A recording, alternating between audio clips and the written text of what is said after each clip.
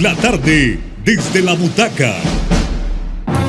Muy buenas tardes, Cristóbal y Rosendo, y como siempre les traemos las noticias más frescas del séptimo arte. Y comenzamos con la producción de la película El hombre hormiga o Ant-Man, que bajo la dirección de Peyton Reed, Disney reveló la primera imagen del actor Paul Rudd como Scott Lang, protagonista de la película de superhéroes de Marvel. El ladrón convertido en héroe parece querer pasar desapercibido mientras carga algo bajo el Golden Gate de San Francisco. Seguramente es cuestión de tiempo antes de que lo veamos con el emblemático traje del hombre hormiga o de Ant-Man, cuya película se espera para el próximo 2015.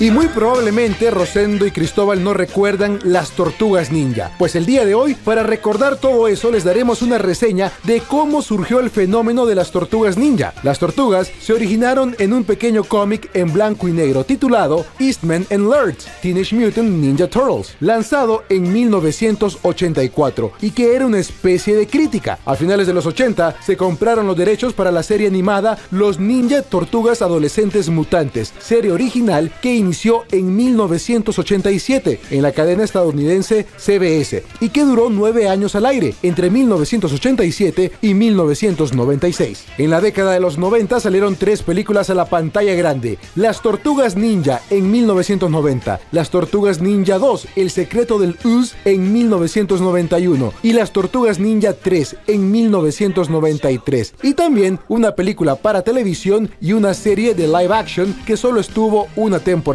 en el 2009 se estrenó en televisión la película Turtles Forever, que rinde homenaje al 25 aniversario. Las Tortugas Ninja no solo tienen series de animación, sino que también tienen una exitosa línea de juguetes y películas de acción, sino que también han estelarizado muchísimos videojuegos. El fabricante de videojuegos japonés Konami fue en gran parte responsable de estos.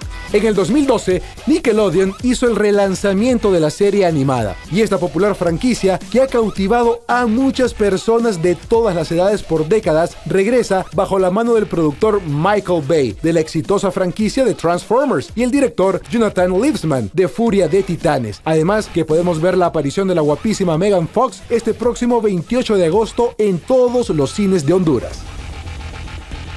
So they're aliens. No, that's stupid. They're turtles. Is there anything else we should know about them?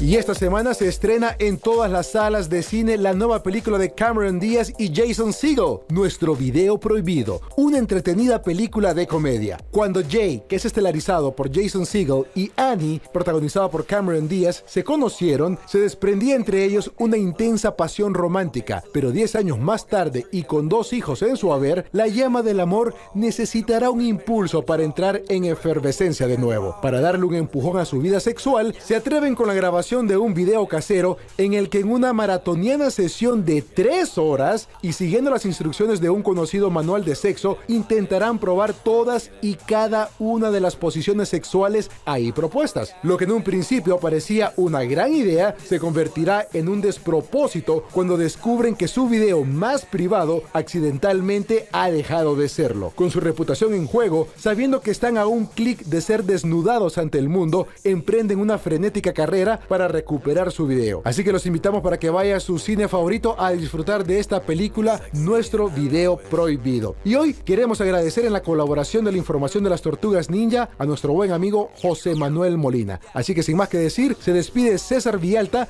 con la producción de Wilmer Barahona y Marco Centeno. Regresamos con más de la tarde.